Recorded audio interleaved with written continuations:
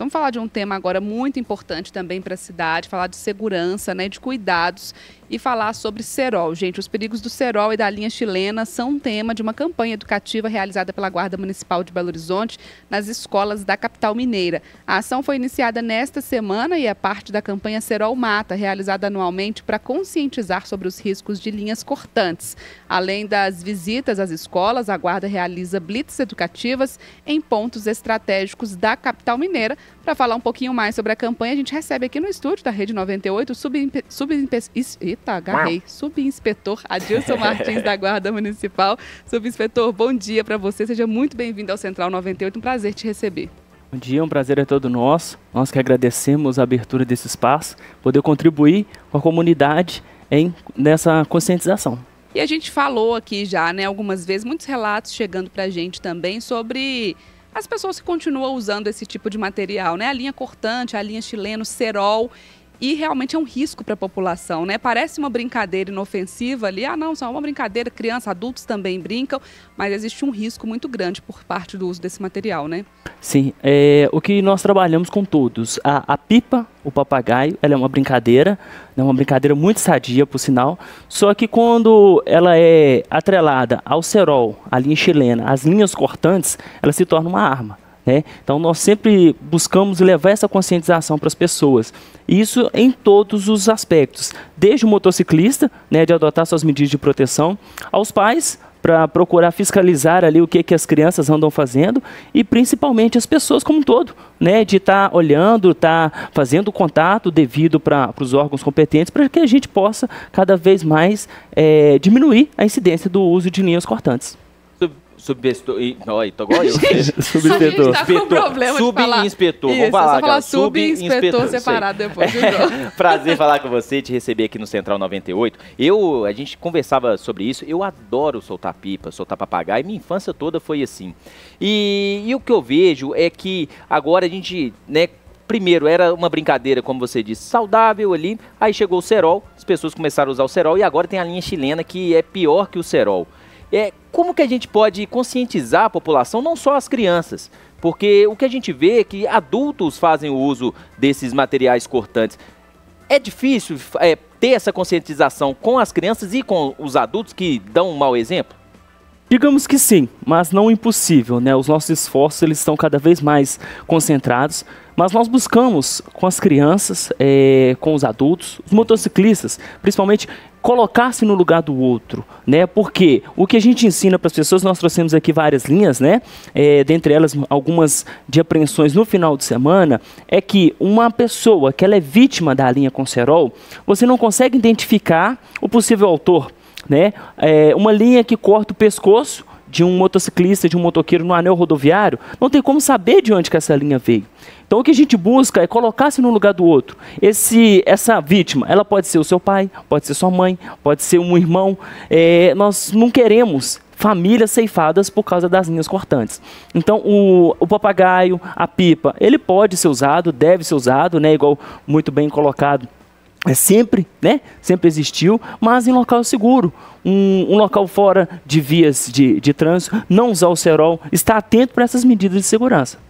E para se chegar, né, que esse é um, é um, aspecto que é um dificultador da, da fiscalização, porque às vezes o causador do, do, do, acidente ali, ou da, das mortes também, a gente tem que falar isso porque a gente esse ano já, já tivemos uma morte e a média, pelo que a gente pega os números, aqui em Belo Horizonte na região, e região metropolitana, é, é pelo menos uma morte por ano. Sim, e isso, isso é, é triste a gente ver, ver isso. E, e aí tem essa situação, porque às vezes é um papagaio, uma pipa que está ali voando, foi cortado, está ali é, sem rumo, e a linha fica ali no meio da pista e acaba atingindo as pessoas. Então, é, eu vejo que isso é um dificultador também, a gente falou sobre isso. Agora, é, como chegar nas pessoas que fazem ou vendem esse material? Tem como chegar a essas pessoas? A denúncia é importante nesse aspecto? Bom, são dois aspectos muito importantes. A, a comercialização, é, existe uma fiscalização feita por parte da Guarda Municipal, no qual todos podem contribuir ligando para o número 153, tanto da fabricação da linha chilena como a comercialização, isso é muito importante. Só que o cerol ele é caseiro. Uhum. O cerol ele é a mistura de cola com vidro, então qualquer um pode fazer. Então são duas vertentes. A, o combate à fiscalização e o combate ao uso. Ao uso também pelo número 153 para aquela pessoa, aquele, aquele senhor que passou próximo de um local e está vendo que as crianças, os jovens ou até mesmo um adulto está usando. Então ele vai ligar no 153, a, a Guarda Municipal vai deslocar uma equipe para estar tá fazendo essa abordagem. Então, é tanto a abordagem de quem usa como a abordagem de quem fabrica a linha chilena. Então, é, desculpa, Carol, então é, é, um papel importante da população de estar tá ali viu que tem alguém com, fazendo uso de cerol, da linha chilena, já aciona a guarda municipal. É isso que as pessoas têm que seguir esse caminho. Sim, esse é o principal caminho, porque nós sabemos das pessoas que comercializam né, é, em locais às vezes escondido, né, não tem uma, um, uma, uma identificação, às vezes coloca no porta-mala de um carro para levar para aquele local para fazer a venda. É, o cerol pode ser feito no, no quintal da casa de qualquer um, né? A pessoa vai fazer ali aquela mistura do, do vidro com. Fazem até na rua, às com vezes. a cola, até na rua, né? E e quando está utilizando, as pessoas elas têm que entender que aquela linha, é, a linha com cerol, ela é uma arma. Uhum. Ah, mas eu não tenho obrigação. Você tem sim obrigação, porque essa linha ela pode cortar o pescoço do motociclista que está indo levar o seu lanche. Pode cortar o pescoço de uma pessoa, de um pai de família que acabou de parar o trabalho muito bem colocado por vocês. Nós já tivemos vários, vários é, incidentes né, no, no, decorrer dos anos e a gente sempre busca. As blitz educativas, ela, ela, elas trabalham com os motociclistas a adoção das medidas de autoproteção e também da fiscalização, visto que ele está passando ali por aquele local. E aí uma coisa também que eu ia tocar justamente nesse ponto dessa conscientização, né? A gente fala das blitz educativas e aí se orienta também, por exemplo, aquelas pessoas que são mais vulneráveis, né? Os motociclistas, a gente sabe, muito, né, expostos a acidentes, incidentes com linhas cortantes, mas também esse trabalho da guarda nas escolas, porque eu sempre falo que a gente tem que educar as pessoas, né? A gente não tem que ter medo somente de uma punição, que seja uma multa ou que seja né, uma punição criminal, mas acho que tem que educar uma nova geração para entender que isso não é legal, que isso não é certo, que existem outras maneiras de se divertir, né? Com a própria pipa, o próprio papagaio, sem utilizar as linhas cortantes. Como é que é esse trabalho da guarda para fazer esse papel educativo mesmo, para a gente ter essa conscientização maior da população? População? É, a Guarda Municipal, desde a sua essência, né, é, nós já viemos trabalhando em escolas. E nas escolas nós levamos um estande interativo, nós fazemos a exposição das linhas, deixamos as crianças terem esse contato, saber como que essa linha corta, fazemos a demonstração com legumes para que elas entendam o risco que elas correm e que elas colocam as pessoas. Uhum. Para quê? Para que a criança ele seja esse multiplicador e que principalmente ele leve isso para casa. E aí o pai vai também aprender com ele, porque em alguns casos nós sabemos que a criança ela faz, ela, ela faz o cerol, ela usa a linha chilena porque não tem uma fiscalização dos pais, uhum. né? O pai chega, dá o dinheiro, às vezes deixa comprar, ou então não, não sabe o que, que a criança está fazendo enquanto ele está trabalhando. É, o pior é quando vem um mau exemplo, ainda ajuda, ainda faz. Tem, já vi Sim, vários nós aí, temos situações como essa. É, esse que é o, o, maior complicador. E aí, para essas pessoas, né, os adultos que às vezes acham que ali é uma brincadeira, na minha infância era assim, eu soltava, não dava nada, cabe prisão?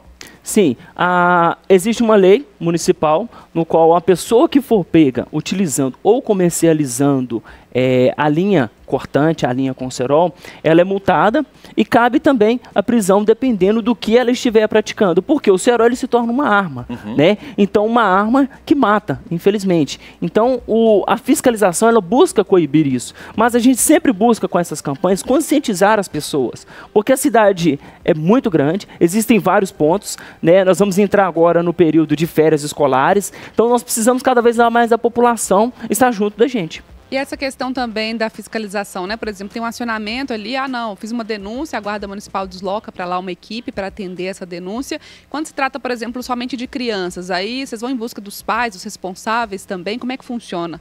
É, as pessoas têm que entender que a criança e o, o, adolescente como um todo, ele, os pais são os responsáveis. Então, se essa criança for pega ou esse adolescente com a linha com, com o cerol, os pais vão ser acionados, né? Não é porque ele está num campo soltando papagaio duas horas da tarde no domingo que o pai deixa de ter essa responsabilidade. E aí a gente sempre busca essa conscientização, a conscientização do uso, a conscientização da comercialização, de modo para quê? Para que seja criada uma rede de proteção.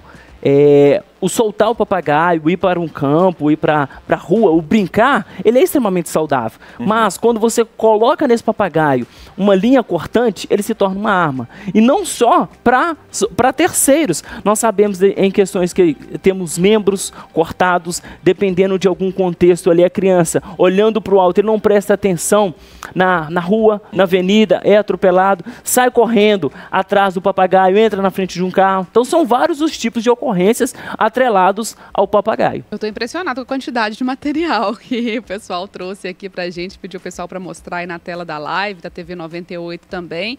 Várias linhas aí que são armas realmente, né? Acho que a palavra correta é essa, porque a gente sabe o estrago que elas são capazes de causar subinspetor falando para a gente aí, muito material de apreensão realmente, né? Então, assim, apreensões também que são comuns pela cidade. Sim, todas essas linhas elas são de apreensões. Os locais são já referenciados, uhum. escolhidos assim de acordo com a maior incidência, de acordo com a proximidade com corredores de, de tráfego pela cidade, é, em locais e horários pré-estabelecidos. A guarda faz esse trabalho, tem um trabalho de inteligência que busca saber também de onde que essas linhas, de cada local, de onde que elas estão vindo, da comercialização.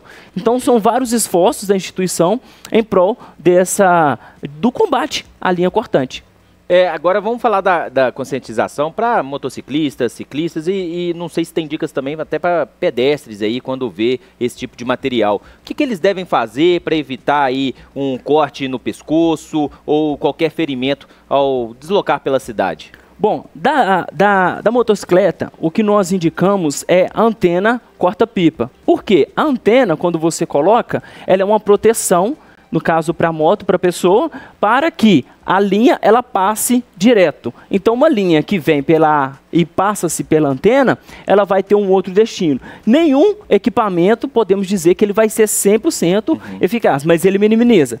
Então, a primeira, a adoção da antena antilinha. Ah, mas a moto vai ficar feia, né? Vai estragar. Não, é a primeira situação é a sua vida. A outra que nós indicamos é o protetor de pescoço. Esse protetor, ele tem quatro fios de cabo de aço, uhum. de modo que se a linha atingir o seu pescoço, mesmo cortando o tecido, porque a linha ela corta é, legume, corta pedaço de carne, uhum. né? Ela vai proteger. E a outra é a luva. Por que da luva? Porque quando você está pilotando e você vê uma linha, a sua primeira intenção é se desvencilhar, é você levar a mão. Uhum. E a linha, ela está ali com um poder de corte muito grande. Então, a luva, ela ajuda a proteger a, a sua mão desse, desse corte, né? São e... várias as medidas a serem adotadas. Desculpa, é, o pedestre também, quando vê uma linha, principalmente se ela tiver atravessada na, na, na pista, também não põe a mão não, porque se passar um carro, passar uma moto, levar e, e você estiver segurando a linha, pode cortar a mão. Justamente, adotar algumas medidas para que você tire essa linha, mas com cuidado. Nós já tivemos caso, né, é, na cidade de Betim, que um jovem ele teve parte da sua perna, né, cortada porque a linha agarrou, né, no ônibus e foi levada. Então, tirar ela com cuidado, ter essa, é, essa atenção de jogar num local seguro, né, de, de fazer esse descarte, para que ela não seja reaproveitada de uma forma negativa. Trazer aqui um comentário do Tiago, ele mandou aqui vários comentários falando sobre isso, já presenciou pessoas sendo cortadas com, com a linha chilena ou cerol, e ele falando assim, como é que a gente denuncia, porque eu vejo muita gente utilizando esse material. Fala de novo sobre isso e a punição, porque eu acho que a gente tem que também pegar na punição, porque as pessoas, eu acho que só, né, aqui no Brasil, infelizmente, a gente tem uma cultura que as pessoas só, só veem as coisas, vê que está fazendo a coisa errada quando tem punição. Ou é preso, ou, ou mexe no bolso. Então, repete pra gente como denunciar e quais punições essas pessoas A denúncia, ela pode ser feita pelo canal, né, 153 da Guarda Municipal. Mas as pessoas têm essa sensação de impunidade porque quando você vê uma viatura, né, e a pessoa está com o cerol, a primeira situação que ele faz é o seguinte: ele é. cortar a linha, deixar o papagaio voar, dispensar a linha e sair correndo. Uhum. Então, para ser pego assim um flagrante, né, às vezes é muito difícil. E quando ele vê que a, a viatura está aproximando, que está tendo alguma coisa, ele corta essa linha, literalmente joga esse risco para os ares e se desvencilha, né? Então, ou seja, eu não estou com nada, eu não estou com linha, não estou com nada, eu não estou fazendo, né? Por isso que tem todo um trabalho de inteligência que é feito, de monitoramento anterior a essa situação. Ele coloca é, alguns casos de é, presenciar o acidente. Uhum. Sempre que você presenciar, se puder estancar o local, que é uma hemorragia literalmente, é uma hemorragia muito grave, estancar esse sangue, isolar o local, igual nós sabemos é, do motociclista. Vai estar tá ali caído ao solo, isolar e de imediato acionar o SAMU aí, gente, Central 98, então, falando sobre os perigos né, do uso das linhas cortantes, campanha educativa feita pela Guarda Municipal também, falando sobre fiscalização, sobre punição. A gente recebendo aqui no estúdio o subinspetor Adilson Martins, da Guarda Municipal. Subinspetor, obrigada demais por esse tempinho para conversar com a gente, para falar sobre esse tema importantíssimo. Nós que agradecemos mais uma vez, em nome do Comando da Guarda, a abertura desse espaço, né, em poder levar essa conscientização para as pessoas e que cada vez mais a gente tenha essa conscientização e a diminuição desse, dessa arma tão grave nos áreas de Belo Horizonte. Obrigada e bom trabalho para vocês.